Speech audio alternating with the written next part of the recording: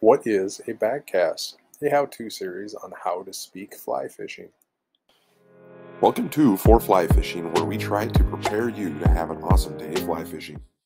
Backcast is a segment of a fly casting stroke when the fly line is sent backward behind the fly fisher, setting up for the forward cast. If you liked this content, you might like some of these other videos. And don't forget to check your fly.